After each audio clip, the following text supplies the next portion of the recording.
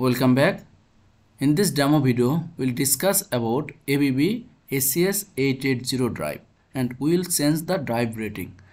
Suppose you have a drive with a current firmware so you want to use for general purpose but your crane software or firmware is in the memory card.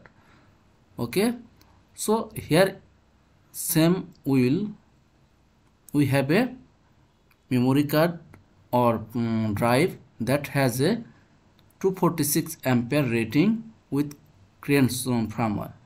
So i have changed with another memory card inserting with 293 ampere program firmware for general purpose firmware okay? But we have to change the rating from 293 ampere to 246 so how we can do that okay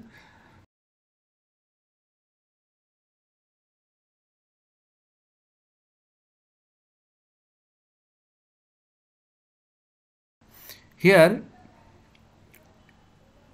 in 96 in system that the control board boot and FSO reboot that two option. So for change the drive rating from ZSU to memory card you have to reboot the control board control board boot so here I have changed from 1 0 to 1 and give a enter. Okay? After that I have restart okay? Just wait and we'll connect again. Okay? See I have crossed. Okay? Now I will reboot the program. Also I have reboot the power of that ZSU but it will not change the rating. Okay? That is wrong. I have did just for your information that if you uh, reboot from the control board parameter it will not change the drive rating so hot. Okay.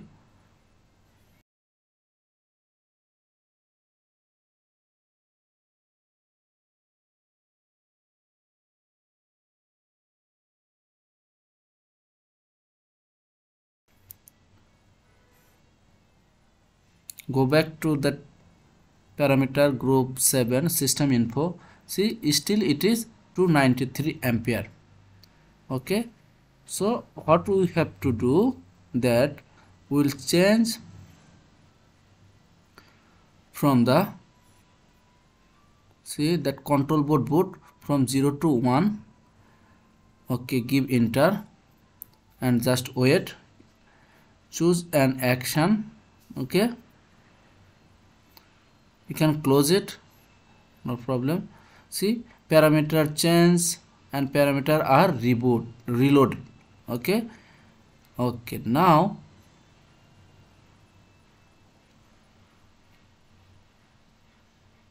wait for the parameter okay?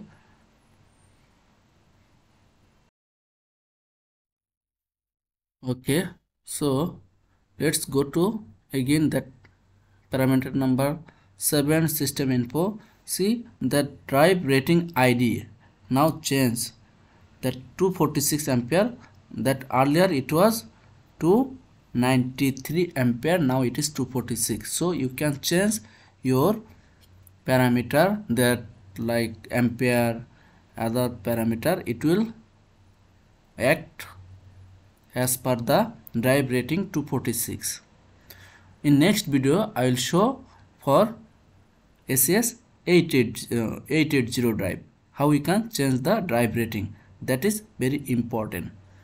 Okay thank you